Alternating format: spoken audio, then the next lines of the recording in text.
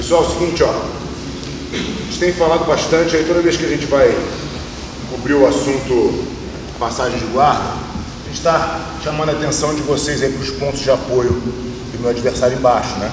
Onde ele cria as alavancas e como que eu tenho que me desvencilhar delas. Né? Eu vou andar, aí tem o shield, aí eu vou sair do shield dele, ele vai ter o braço, aí eu vou sair do braço. Então eu vou o tempo inteiro tentando usar minha técnica para me desvencilhar dos pontos de alavanca de quem está fazendo guarda. E conforme eu vou fazendo isso, eu vou obrigando o meu adversário embaixo a também criar novas formas de me parar. Uma das formas que, que é mais usada e que realmente é difícil da gente se desvencilhar é quando o meu adversário trabalha o laço.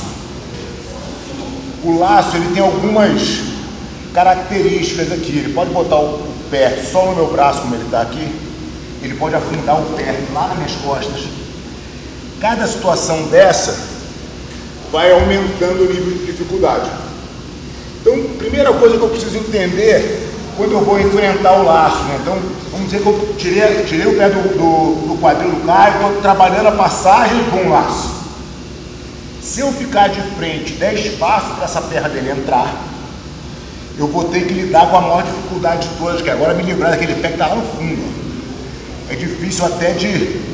Meu braço ficar muito travado, vai ser muito mais complicado se eu deixar ele chegar aqui. O que, que mata completamente esse gancho do fundo? É simplesmente o posicionamento do meu corpo. Então, ao invés de eu ficar dando esse espaço para o Caio entrar o pé lá no fundo, eu simplesmente vou andar para o lado e vou fechar meu cotovelo. Não tem como enfiar o pé mais. Opa, desculpa te incomodar aí no teu vídeo, mas eu queria te contar que esse quadro de técnicas, ele acontece na plataforma semanalmente. Todas as aulas que eu dou na Aliança São Paulo são gravadas e vão para a plataforma. Então você pode treinar comigo aí algumas aulas por semana e você, basta que você assine a plataforma Viver de Jiu-Jitsu. Te vejo lá, continua seu vídeo aí. Chupela não tem como ele entrar o pé nas minhas costas. Então eu só tenho que lidar com o laço. Ok? Duas coisas importantes, a minha mão nunca está solta, senão ele que controla o quanto ele vai puxar meu braço e o quanto não. Então, pegadinha na bola.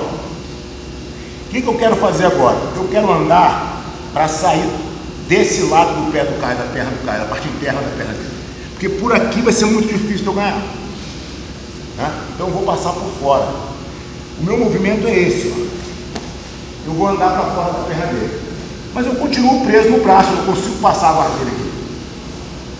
Certo? O que eu quero fazer é simplesmente sair da força do laço para poder entrar minha mão por dentro da outra perna. Então, ó, a minha movimentação é, eu vou para um lado para sair da força do laço e a minha outra mão vai esgrimar a perna dele. Então eu faço esse movimento. Um, olha como é que eu trago a perna dele para mim o meu antebraço. Se eu chegar aqui e quiser puxar a perna do cara, agora não tem.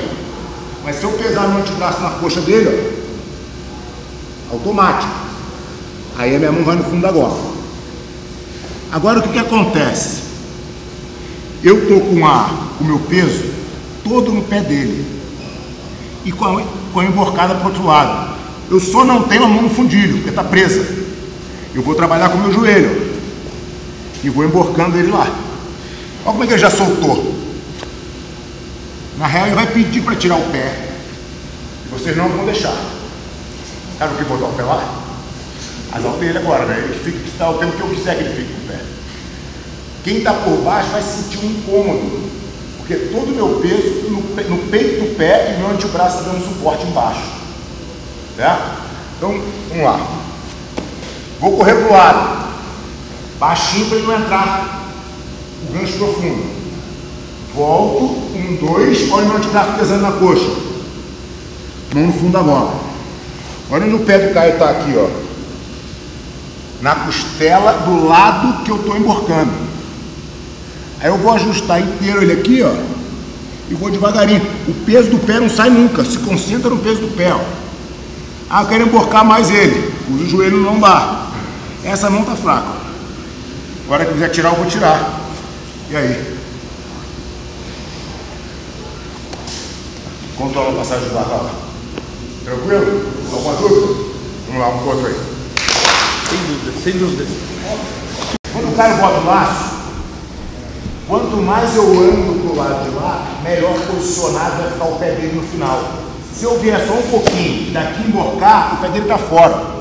Tira Ele tira o pé. Né? Não tem, eu não tenho como controlar, eu só tenho o meu peso para controlar a perna dele. Então se eu não usar meu peso de acordo, vai ter sempre um espaço para ele tirar o pé. Quanto mais eu ando para o lado de cá, mais preso fica o pé dele. Repara como o pé dele está do outro lado da minha costela. Né? E é esse ponto que eu quero, que agora meu peso está exatamente aqui também. Ó. Aí ele está sentindo a pressão do meu peso aqui, é como se fosse uma, uma estima ali. Né? Porque tem o meu antebraço e tem o meu peso aqui, ó, incomodando o cara. O cara não vai bater nisso. Né? Vocês nunca vão bater nisso. Mas vai incomodar. Né? E o cara vai querer tirar o pé. E aí ele fala assim, cara, o que é minha guarda? Deixa o cara passar minha guarda. Bater na chave de pé. Aí o cara vai tirar essa perna e vai dar passagem para vocês. Né? Então, mantenha o controle do pé do cara, de, se possível, do lado da costela, do lado que vocês estão passando. Para eu fazer isso, eu vou andar mais para o lado, vou exagerar a minha caminhada para o lado do laço. Eu só explico depois que eu caminho, né? Porque a perna vem Sim, aí só eu, eu não preciso trazer Então, lá. não dá para eu tentar fazer isso, é, É. impossível. Eu na vai sempre perna. pesar a perna. Vai perna meu braço, a perna dele, ele vai sempre ganhar. Quando eu ando para lá, e aí tem a importância dessa gola, né? Parece que eu não estou fazendo nada com essa gola. Mas essa gola está puxando ele. Então quando eu ando e puxo, meu, meu antebraço naturalmente pesa. Então eu faço isso aqui, ó. A gola me ajuda a poder pesar meu antebraço para chegar na, na gola oposta. Tranquilo? Ah, o que, que eu vou tentar fazer toda vez que meu adversário bota o laço no meu braço? Antes dele realmente segurar. Porque uma coisa é o seguinte, ah, botei a mão na gola, o cara quer botar o laço, aí eu deixo ele lá com a mão na gola e arrumar o laço como ele quer. né? O meu movimento que a gente estava trabalhando na, na- na semana passada era passar o barra do cara aqui, ó. Não é isso? Quando ele vem botar o laço, o que eu quero é tirar minha mão. Eu não quero que a minha mão fique presa, porque agora ele não tem mais como, não tem mais laço aqui. Qual é o irmão do primo, primo irmão do laço? É o pé. Todo mundo que faz guarda-aranha, né? Pé no bíceps e laço, laço pé no bíceps, vai estar sempre nesse jogo. Quando ele começa a perder o laço, ele vai trabalhar aqui, ó. Ele está criando um outro apoio. Certo? Só que essa mão dele está fraca. Eu sei que essa pegada do cara aqui não vale nada. Né? E eu, o que, que a regra manda quando o adversário tem o pé no bíceps? Que eu ande para que lado? O lado do pé do bíceps, não é isso? Então eu vou continuar andando para cá. Ó. Essa pegada está morrendo. Ó. A hora que essa pegada morrer, ele vai ter que soltar, porque a pegada dele não tem eficiência nenhuma, ele vai querer sugar na bola, vai, ter que, vai, vai querer mudar o jogo. A hora que ele soltar a mão, ele vai tomar. Certo? Então o nosso movimento agora é o seguinte, ó. Quem está por baixo vai trabalhar pé no bíceps e laço. Certo? Quem está por. Mas volta lá. Quero, quero que vocês façam um movimento. Ó. Eu estou livre. Eu vou começar a caminhar. Ele vai fazer laço, eu tirei a mão. Pé no bíceps. Certo? Eu vou andar para o lado do pé do bíceps e vou ficar com a minha mão firme na coxa dele. Ele vai ter que dizer, ah, mas o cara não está soltando. Vai soltar, não tem como ele segurar. Né? Não tem pegada para ele. A hora que ele soltar, corpo alto, troco no leg drag e faço. Beleza? Vamos lá? A posição é ruim para ele, eu sei. Mas se eu tentar ficar brigando muito, eu vou perder o time de fazer a posição. Eu quero que ele troque. A hora que ele vem com a mão, eu saio. Né? Ah, mas o cara não está soltando a mão. Deixa ele ruim. Deixa ele um pouquinho aqui, ó. Ah, o cara está voltando o quadril de frente para mim. Anda pro lado de novo. Coloca a tua canela no quadril dele. Para de novo. Hã? Ele está incomodado aqui, ó. A posição é horrível para ele. E ele fala, pô, preciso fazer alguma coisa. É a mão dele que ganha. Ela não me acha mais. Certo? Então faz um pit stop ali, sem pressa de sair, deixa o cara no ruim. E quem está embaixo, viu que a posição está horrível para a mão, fica dando a vida ali, que não vai adiantar nada. Tenta trocar a pegada. Esse é o tempo da posição. Tranquilo? Não, cadê eu segurar, pô. O laço tem um tempo de acontecer, né? A perna do cara vai vir por cima meu braço, tem um movimento, né? ele não acontece no estalo. Mais rápido da perna do cara seria tem um processo. Se eu estiver atento a isso, toda vez que o Caio gira a perna no meu braço, ela não sai junto com ele. Ah, então esse exercício eu vou fazer o tempo todo. O cara tentou botar o laço, eu vou tentar tirar minha mão. Eventualmente eu não vou conseguir, a mão ficar presa, tudo bem, mas eu vou sempre tentar fazer esse movimento. Porque essa é a minha saída. Né? Consegui fazer o movimento, pum, pé no bíceps. Tudo bem, andei para o lado. Ah, o cara não está tirando a mão. Eu não quero eu fazer o movimento, eu quero que ele tire. Né? Vai andando com a mão.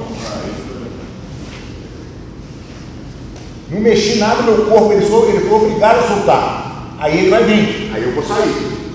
Certo? E aí eu estaria na passagem de novo. O que, que acontece aqui? Quando eu faço esse movimento, o cara está com a pegada firme lá, ó, fazendo guarda-aranha. Se eu fizer isso e ele me soltar, pô, tô do lado dele, cheguei, passei agora. Mas e se eu não tiver o braço? Se ele mantiver o braço dominado, ó. Agora o que, que acontece? Eu estou de costas para ele. Aí eu tento chegar, ele está de frente para mim de novo. Então eu sei que isso é uma possibilidade? Isso pode acontecer. Se eu não entender qual é a minha conexão técnica na próxima, eu fiquei para trás do movimento. Tudo certo, se eu fui passar, eu estava com lá de novo. Não adiantou. Então, ó, o meu movimento, ele fez o laço, eu tirei, ele botou o pé no bíceps, eu andei, ele soltou para trocar a pegada, eu bati. O meu pé, quando ele vai tirando as costas do chão, o meu pé anda. O que, que, vai acontecer agora? Essa minha perna cá é o primeiro passo. Eu vou fazer isso. O que, que acontece normalmente? Eu joguei, aí eu quero passar essa perna, eu estou muito longe. Aí eu atraso, o cara vem de de novo. O que eu quero agora é prender o corpo dele onde ele se colocou. Eu joguei, sentou. Aí, ó, tem uma coisa levantada aqui. Tem uma coisa de botar as costas no chão, não tem mais nada. Só tem o braço. Ah, o cara quer soltar o braço. Ah, queria ficar me segurando. Né? Então, eu vou sempre trabalhar com o passo da barriga. Para eu fazer esse movimento ficar confortável para mim, quando eu tiro a pegar, o pé dele do bíceps, eu preciso estar com a minha perna esquerda avançada. Então é isso aqui, ó. Porque agora eu ando. Tranquilo? Vamos lá? A hora que o Caio solta, eu vou fazer um movimento e ele vai começar a sentar. Se eu permanecer com a mão na calça, eu estou bloqueando o caminho da minha perna. Tá? Então, quando eu tiro a perna dele, quando eu vou fazer o um movimento, eu já sei que eu vou aproximar minha perna esquerda, que eu vou tirar a perna dele e que eu vou soltar. Certo? Porque agora, quando eu soltar a perna, quando eu faço esse movimento com a perna, ele está controlando. O braço está esticado, ele está a ponta do braço dele faz o movimento. Quando eu solto a perna e quer fazer igual, eu controlo o braço Olha o espaço aqui agora. Né? Então, quando eu faço a minha sequência, passo, tiro a perna e abro o meu braço na direção da cabeça dele. Que ele vai fazer esse movimento aqui, ó. E o cara não vai ter a. Ele tem que ter muita sagacidade para largar. Soltar. Entendeu? Mas se ele soltar, ele me deu a passagem. Então o cara, normalmente, entre a cruz e a espada, ele continua segurando. Né? Gente vai se aproveitar disso. Então, eu faço o movimento. Um, dois, abro o braço, dou o passo. Preciso de muita velocidade, preciso de nada. Preciso coordenar essas etapas aí. Beleza?